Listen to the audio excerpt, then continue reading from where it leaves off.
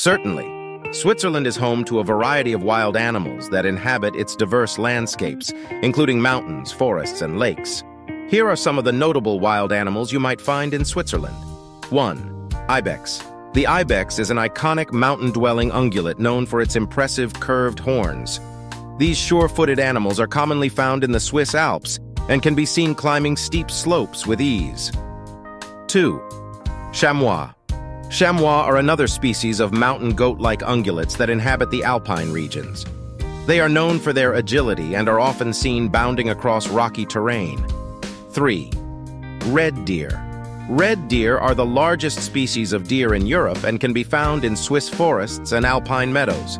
They are most active during dawn and dusk and are known for their distinctive vocalizations during the mating season. 4. Fox.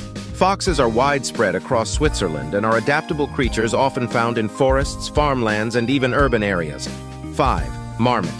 The alpine marmot is a social and burrowing rodent found in high-altitude meadows and rocky areas. They are known for their distinctive whistles which they use to communicate with each other. 6. Golden Eagle. The golden eagle is one of the largest and most impressive birds of prey in Switzerland. It soars over the mountainous landscapes, preying on small mammals and birds. 7. Lynx. While quite rare, the Eurasian lynx is present in some regions of Switzerland. These elusive predators prefer dense forests and are known for their solitary nature. 8. Wild boar. Wild boars inhabit Swiss forests and can be found foraging for food. They are known for their distinctive appearance and are considered a game species. 9. Beaver.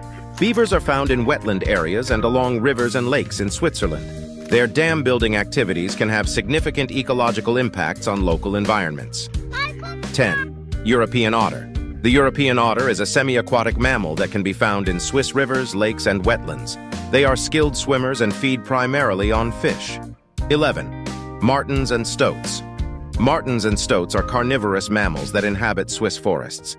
They are agile hunters and play an important role in controlling small mammal populations. Switzerland's commitment to conservation and maintaining a balanced ecosystem has helped preserve these species and their habitats. It's important to note that while these animals can be found in the wild, sightings might not always be common due to their natural behaviors and the rugged terrain they inhabit. Subscribe to Predators World now for more upcoming videos. Thank you for being a part of the Predators World community.